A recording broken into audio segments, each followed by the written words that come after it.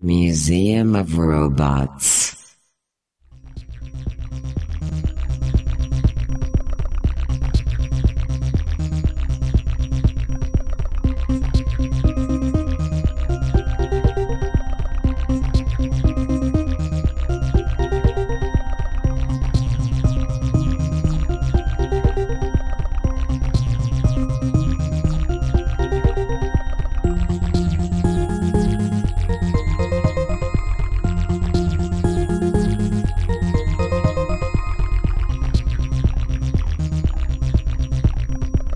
Fallbot lays on the ground.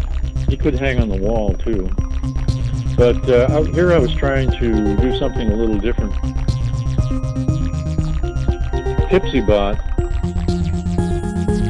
of course, uh, you can see that she's an inebriated robot.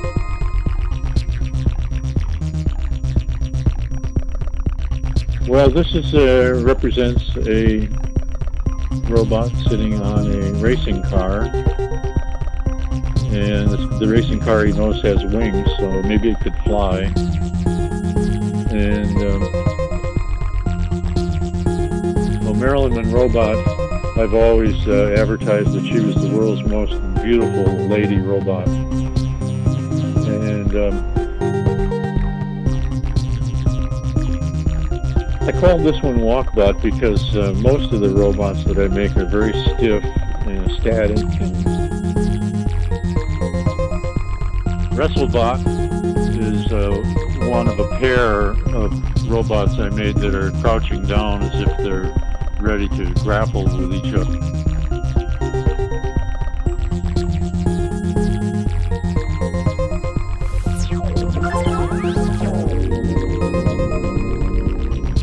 I'm Clayton. Uh, I'm Clayton Bailey, and I live here on the Carquinez Strait in uh, this beautiful grassy valley near Port Costa. Okay, the, the beginning of the robot process is going to the junkyard and collecting aluminum shapes, whatever they are. But I keep them kind of grouped, glassware, or here's aluminum donuts and rings, for example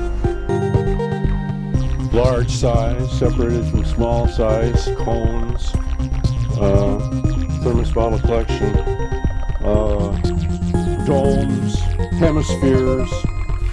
Now, this is one of the earlier human-sized robots that I have been making for maybe 25 years that were inspired originally by jukeboxes originally the idea was to have this thing that would stand in your living room and entertain you with a little bit of a light show. And it would have a tape deck mounted in the chest to play music with speakers under the arms. And this one started out with, again, with a heater, an old, real old time electric heater from your house, and some backup lights from a pickup truck, and tea kettle nose, refrigerator compartment Lava Robot is uh, somewhat of a uh, relative to Grandfather Clock. A lot of the same components, like the head. The basic head on this is, is like Grandfather Clock. But this one, uh, the entertainment in the chest, is a lava lamp. And it's mounted in front of a curved mirror, so that kind of distorts and amplifies the lava lamp and gives you a little bit more production value. Bunsbot is another one of those beautiful girl robots like uh, Marilyn Monroe robot. She's named merely because right on her chest, just above her measuring glass, you can see the word buns.